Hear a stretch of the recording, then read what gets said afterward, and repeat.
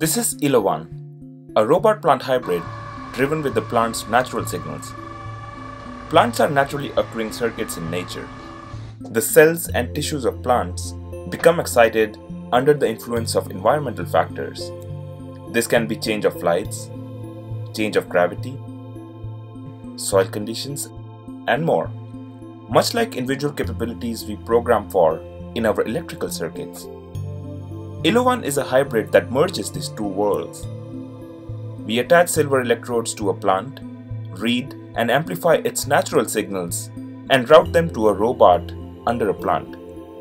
We put lamps on either direction of the robot to trigger its natural signals, thus driving the robot underneath automatically.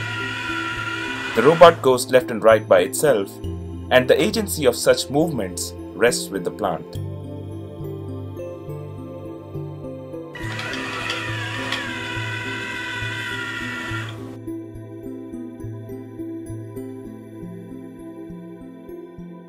Interfacing plants with robots or circuits this way can pave a way to power our future electronics naturally.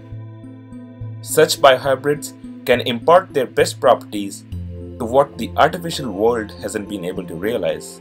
New, self-pairing, self-powered, and self-growing symbiotic organisms.